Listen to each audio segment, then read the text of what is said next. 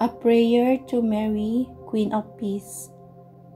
O loving God, your Son Jesus Christ came into the world to do your will and leave us his peace.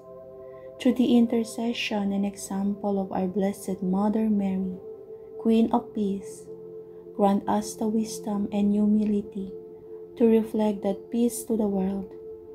May your Holy Spirit fill us with every grace and blessing so that we may pursue what leads to peace for all humanity.